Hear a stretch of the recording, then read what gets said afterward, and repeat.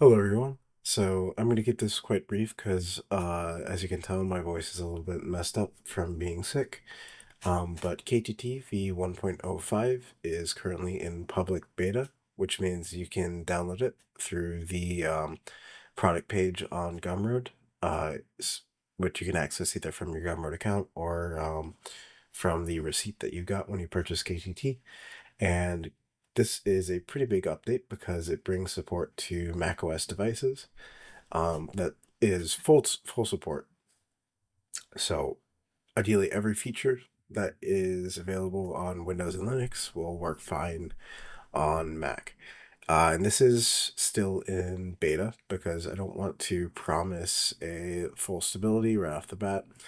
Um, there might still be bugs, but um, as far as I can tell, uh, we haven't encountered any major bugs over the past few days. Uh, I've been working with beta testers on the KTT Discord, also link in the description below, uh, to iron out all the kinks. And we think we got into a pretty stable state. Um, and I want to briefly um, thank Stefan Hasselwimmer for making the um, the conversion to macOS possible. Um, he did a lot of work uh, to identify which bits of code were problematic um, and needed to be changed, and he, he sent that to me uh, and gave me clear advice on, on what I could do to make this macOS compatible. And um, this would not have been possible without him. Um, he also did a ton of testing and, and R&D and stuff. Uh, so yeah. Um, if you're using or if you're planning to get this for Mac, uh, he's the guy to thank. Um, and in uh, v1.05, I'll put him in uh, an attributions uh, folder in, in the handbook, uh, which you can check out. Um, I currently don't have that, but that will be there very soon. Um, anyways, uh, I want to talk about some of the uh, new features for everyone, um, not just the uh, conversion to, to Mac OS or the, the port to Mac OS um, because there are some really new, really exciting new ones. Um, the most exciting of which is uh, the new features added to the smooth talus node. Um, you can see on this uh, terrain when I zoom in uh, that the slopes have some really intricate detailing. Here I'll show the um, path trace light map here um, or just like this this sort of clay version of this. And you can see how like they're really nice. These rocks are like really nicely integrated. And they have like this really interesting crumbly look to them which i i, I find quite appealing. Um and just generally speaking um uh they look a lot better than like uh they would previously with just like some erosion and then like displacement and stuff um, and this is all done procedurally. There's no um, textures like anywhere. Um, so I want to show you kind of a bit about that. So this is the, um, this is just the erosion uh, for this. Uh, and then um, a couple notes later, you'll see the smooth talus. And this node um, pretty much takes care of everything. Um, and that's due to this new folder called the deviation. Um, and basically what it means is that it will alter how the um, solver that the smooth talus node uh, uses, it will alter how that sort of interprets the slope of the terrain.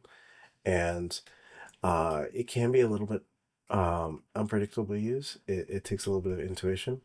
Um, but basically it takes like this input to your mask, um, which you can see I've created this uh, sort of um, terraced, like stratified look to it, um, which is also created by this new strata strata noise node. This one isn't super interesting. It's kind of intuitive what it does, just um, adds these sort of uh, terraces to the terrain.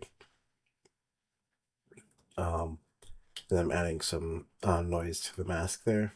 And that's being fed into this deviation map parameter. And this deviation map turns it from the very basic uh, talus effect that you'd uh, see before.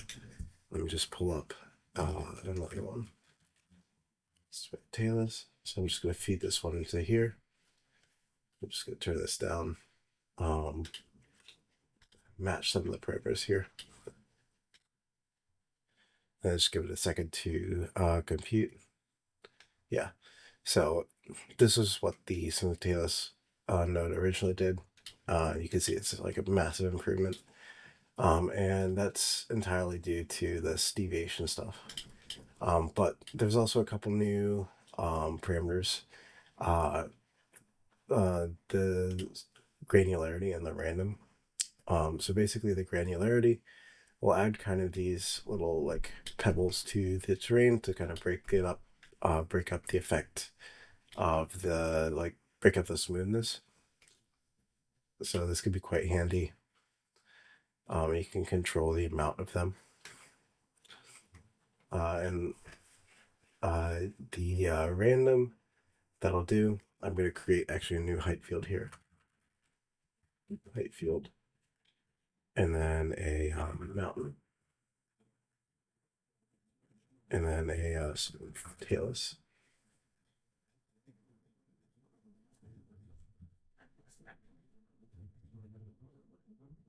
And let's just give it a little bit more detail. So the granularity amount, uh, we've already talked about, it adds this sort of effect to the um, terrain. This random amount though, um, it provides more uniform sort of breakup. So it won't um, create like those little like pebbles and the streaks coming off of them. It'll just kind of augment the uh, look of the um, random or yeah, I'll just provide a little bit of breakup there. Um, and uh, I'm gonna briefly demo the um, deviation map here. Um, I'm gonna use a um, mask oriented to do so. Oops. So if I plug that in there, so actually let's move this to a more even value just so that um, well, just because I want to. so if I use deviation here, we're going to see that this immediately um, creates some interesting bits. Um, I, I, mentioned before how it kind of reinterprets uh, how the um, terrain should, or re, it changes how the slope interprets, or the solver interprets the um, slope of the terrain. Um, basically what that means is that it thinks by adding this deviation map, it makes the solver in the smooth talus node think that this bit is a lot uh, shallower than it is, um, which is a very simplified explanation. But it allows you to get really precise looking cliffs and stuff, but still the effect um, around it, the integration is uh, very cool to very cool to see. Um, and you can still add like the um, granularity amount the random. Uh, and then you can change the amount of this deviation. Generally, the biggest like large scale effects happen around a deviation amount of one. Um, but uh, after that, you'll get kind of a little bit more like crumbly shapes, which can be really interesting if you have like a rocky terrain and such. Um, you can see what happens when I like change the roughness of this noise texture down. If I change it up, if I change it up, it becomes like a lot more crumbly. If I change it down, um, you're seeing a lot like bigger shapes and stuff uh, represented. Uh, it can be a little bit unintuitive to work with, but generally speaking, um, features that are on the mask, they get kind of integrated um, into this deviation map. Um, and it also uh, scales up very, very well. So uh, if you go like change the resolution to be a bit higher, uh, you can see like it's preserving the sharpness and the uh, um, sort of look of those details uh, quite quite strongly. So this is at 8K. Uh, you can see these bits look like super nice and crumbly. Uh, it's really cool. Uh, I'm going to go back to 2K right here. Um, but this is why I also made the strata noise, um, because I needed to have something well, I, I figured it would be really interesting to see what you could do if you could like sort of add terracing to this. So this strata noise is my um, solution to to that. And um, if I turn this this off, uh, you can see how that creates like this terraced effect, and it's very different from using the um, like the terraced node and such, um, because it kind of creates like these bands of rocky material, and then this the smooth stuff that follows afterwards. Um, you can you can play around with this, and then I also like to do I also added this cross stratification thing, which essentially allows you to create multiple different layers of strata, um, and uh, sort of have them going off in different directions. So this can be a really cool effect too. Right? Uh, and that's what I was doing with this uh, over here. Then when you add the um, mask noise back in, um, it's uh, it's definitely quite interesting. Uh, you get some really interesting like rocky, or you yeah you just get interesting slope detail. Um, and I, before I leave, I'd like to um, credit my friend uh, NuoCheng for discovering this technique and giving me permission to integrate it into KTT. He's done some lovely work with um, World Machine, and he has a uh, fantastic macro pack uh, that you can get. I'll, I'll provide links to his stuff in the description below. Um, he does great work. One of the most talented terrain people I know, uh, and this technique of his is um, a very solid addition to uh, KTT. And um, yeah, he deserves uh, some recognition for that. So uh, I think I've been yapping long enough. My voice doesn't like me too much right now. Uh, so I'm going to sign off.